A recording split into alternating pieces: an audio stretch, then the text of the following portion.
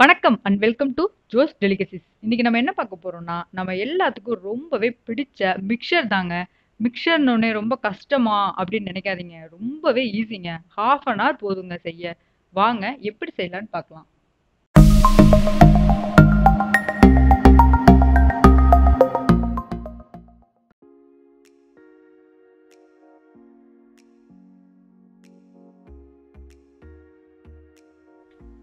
மிக்சருக்கு நம்ம ஃபஸ்ட்டு ஓமப்பொடி செஞ்சுக்கலாங்க.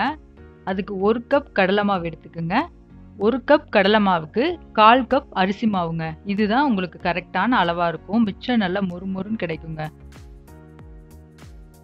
இதில் தேவையான அளவு உப்பு சேர்த்துக்கலாம். நம்ம காராபூந்திக்கு உப்பு சேர்ப்போம். டோட்டலாக மிக்சர் கலந்ததுக்கப்புறம் உப்பு சேர்ப்போம். ஸோ கம்மியாகவே சேர்த்துக்குங்க. தேவையான அளவு பெருங்காயத்தூள் சேர்த்துக்கலாங்க. இதை நல்லா மிக்ஸ் பண்ணி விட்டுக்கலாங்க.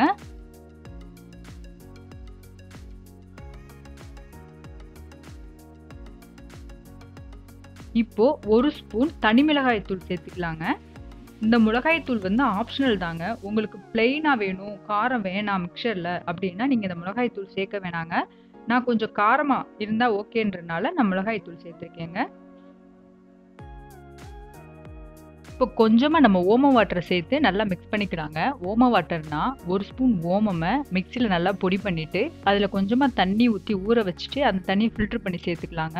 இப்படி சேர்த்துட்டு நம்ம ஓம பொடி செய்கிறப்போ நல்லா டேஸ்ட்டாக நல்லா ஸ்மெல்லாக இருக்குங்க. அதுக்காக தான். இது ஆப்ஷனல் தான். உங்களுக்கு வேணானாலும் நார்மலாக நீங்கள் தண்ணி ஊற்றியே நல்லா இடியாப்ப மாவு பதத்தில் படைஞ்சு எடுத்துக்கலாங்க. பாருங்க இந்த மாதிரி நல்லா பிணைஞ்சாச்சுங்க. இப்போ இதில் ஒரு ஸ்பூன் காய்ச்சின எண்ணெயை நல்லா சூடாக சேர்த்துக்கலாங்க. இந்த மாதிரி சேர்த்து பிணையிறப்ப நம்ம ஓமப்பொடி நல்லா மொறு மொறுன்னு கிடைக்குங்க. எல்லாத்தையும் சேர்த்து இந்த மாதிரி பிணைஞ்சு எடுத்துக்கலாங்க. இப்போ நம்ம ஓமப்பொடி பிழிஞ்சிடலாங்க இப்போது ஓமப்பொடி பிழியறதுக்கு இந்த மாதிரி ஒரு அச்சு எடுத்துக்கலாங்க. இதை முறுக்கு குழலில் போட்டுட்டு நம்ம பிணைஞ்சு வச்சிருக்க மாவை ஃபில் பண்ணிவிட்டு ஓமப்பொடி பிழிஞ்சிடலாங்க பாருங்க அடுப்பில் நல்லா எண்ணெய் காஞ்சிக்கிட்டு இருக்குங்க. எண்ணெய் நல்லா காஞ்சதும் நம்ம ஓமப்பொடி பிழிஞ்சிடலாங்க மெதுவாக பார்த்து பிடிங்க. ஹீட் அப்படியே கைக்கு வரும். பிழிஞ்சிட்டு ரொம்ப நேரம்லாம் இதுக்கு ஆகாதுங்க. ஒரு முப்பது செகண்ட் இருந்தால் போதும் நல்லா வெந்துடும் நம்ம இப்படி போடுறப்ப நொர நுறையாக வருது இல்லை அது அடங்கின நம்ம எடுத்துடலாங்க அவ்வளோதாங்க பாருங்க நல்லா நுரையெல்லாம் அடங்கிடுச்சுங்க இப்போ இதை நம்ம எடுத்துடலாம் இந்த மாதிரி எல்லா ஓமப்பொடியும் செஞ்சுக்கலாங்க. இப்போ நம்ம காராபூந்தி செய்யணுங்க. அதுக்கு நம்ம மாவு கரைச்சிக்கலாம். இதுக்கு அளவும் ஒரு கப் கடலை மாவு அதே மாதிரி கால் கப் அரிசி மாவு தாங்க. மிக்சருக்கும் சரி காராப்பூந்திக்கும் சரி அளவு வந்து ஒரு கப் கடலை மாவு எடுத்திங்கன்னா கால் கப் அரிசி மாவுங்க. இதுக்கு தேவையான அளவு உப்பு சேர்த்துக்கலாங்க.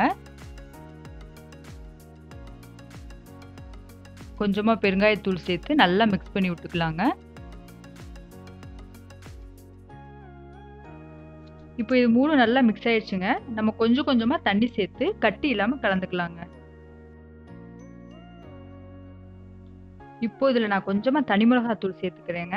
இது உங்களுக்கு ஆப்ஷனல் தான். வேணாட்டி நீங்கள் நார்மலாகவும் பூந்தி செஞ்சுக்கலாங்க. நான் மிளகாத்தூள் சேர்த்து பண்ணுறேங்க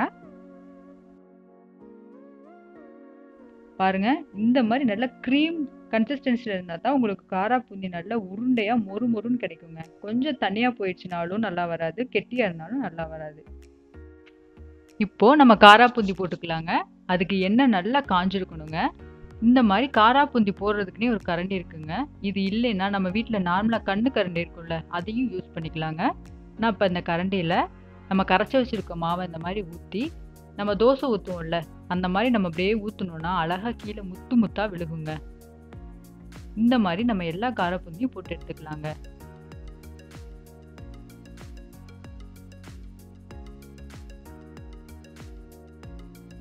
பாருங்க நல்லா பபுள்ஸ்லாம் அடங்கிருச்சு. நல்லா கிறிஸ்பியாக மொறு மொறுன்னு வந்துருச்சுங்க. இப்போ இதை நம்ம எல்லாத்தையும் எடுத்துடலாம். எடுத்துட்டு அடுத்த செட் போட்டுக்கலாங்க.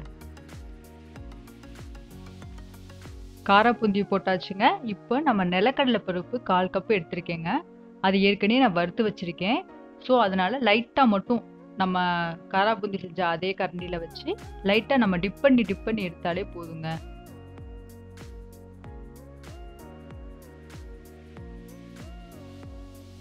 நான் அடுத்து கால் கப் பொட்டுக்கல் எடுத்துக்கிட்டேங்க.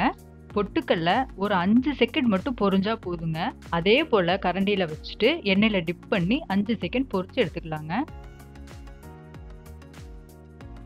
இப்போ கால் கப் அவல் கெட்டி அவல் எடுத்துக்கோங்க. கெட்டி அவலை நம்ம பொறிச்சுக்கலாங்க நம்ம கொஞ்சமாக அவல் பொறிச்சாலே நிறையா வருங்க. ஸோ இதை நம்ம ஒரு அஞ்சு செகண்ட் அதே போல் பொறிச்சு எடுத்துக்கலாங்க. ஒரு அஞ்சு பல்லு பூண்டை இந்த மாதிரி நான் தட்டி எடுத்துக்கிட்டேங்க. இதை நல்லா கோல்டன் கலரில் நம்ம ஃப்ரை பண்ணி எடுத்துடலாங்க. ஃபைனலாக கருவேப்பிலையை பொரிச்சுக்கலாங்க. நீங்கள் கருவேப்பிலையை பொரிக்கிறதுக்கு முன்னாடி ஆஃப் பண்ணிடுங்க. ரொம்ப சூட்டோட பொரிச்சிங்கன்னா ரொம்ப வெடிக்கும். ஆஃப் பண்ணிவிட்டு அந்த ஹீட்டில் பொரிச்சுக்கிட்டிங்கன்னா நல்லா பொரிஞ்சிருங்க. நம்ம ரெடி பண்ணி வச்சுருக்கிறதெல்லாம் இப்போ மிக்ஸ் பண்ணிக்கலாங்க. ஓமப்பொடியை ஒரு ப்ரெஸ் பண்ணி நல்லா உடச்சி விட்டுக்குங்க. ரொம்ப ப்ரெஸ் பண்ண வேண்டாங்க. லைட்டாக ப்ரெஸ் பண்ணாலே உடஞ்சிருங்க. இதில் நம்ம ரெடி பண்ணி வச்சுருக்க காராப்பூந்தியை சேர்த்துடலாங்க. பாருங்கள் காராப்பூந்தி நல்ல உருண்டையாக எவ்வளோ கிறிஸ்பியாக வந்துருக்கு பாருங்கள் இதை சேர்த்துக்கலாங்க. இதில் பொரிச்ச கடலைப்பருப்பை சேர்த்துக்கலாங்க. பொட்டுக்கடலையும் சேர்த்துக்கலாங்க. முந்திரி பருப்பு இருந்தால் கூட நீங்கள் வறுத்து சேர்த்துக்குங்க. பொரிச்ச அவ்வளோ சேர்த்துக்கிட்டேங்க. பொரிச்ச வெள்ளைப்பூடை சேர்த்துக்கிட்டேங்க. கருவேப்பிலையும் சேர்த்துக்கிட்டேங்க. இது கூட நம்ம காரத்துக்கு மிளகாத்தூள் சேர்த்துக்கலாங்க. இது ஆப்ஷனல் தான். உங்களுக்கு வே காரம் வேணான்னு நினச்சிங்கன்னா நீங்கள் மிளகாத்தூள் அவாய்ட் பண்ணிக்கலாங்க. நான் கொஞ்சமாக சேர்த்துக்கிட்டேங்க. எல்லாத்துலேயும் நம்ம உப்பு போட்டு தாங்க செஞ்சுருக்கோம் ஃபைனலாக ஒரு டேஸ்ட்டுக்கு கொஞ்சமாக உப்பு சேர்த்து நம்ம மிக்ஸ் பண்ணிக்கலாங்க. இதில் கொஞ்சமாக பெருங்காயத்தூளையும் சேர்த்து நல்லா மிக்ஸ் பண்ணி விட்டுக்கலாங்க. அவ்வளோந்தாங்க நம்ம சூப்பரான டேஸ்டான கிறிஸ்பியான மிக்சர் ரெடி ஆயிடுச்சுங்க.